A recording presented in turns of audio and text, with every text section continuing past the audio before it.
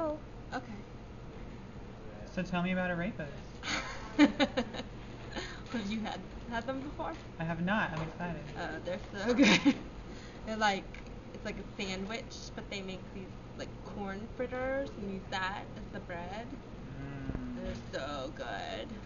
What do you get on them? Oh They my god, if you were. They have a lot of different things. There, it's a it's a very vegetarian friendly place, so you'll like it. I forget what mine had on it, but it was really good. There's all sorts of good stuff. Um, and then they have they have like guacamole and other stuff there too. Mm, The guacamole. arepas.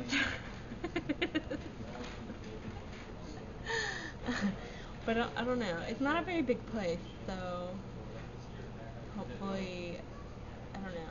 We'll all fit. We'll all get to sit down. Oh my we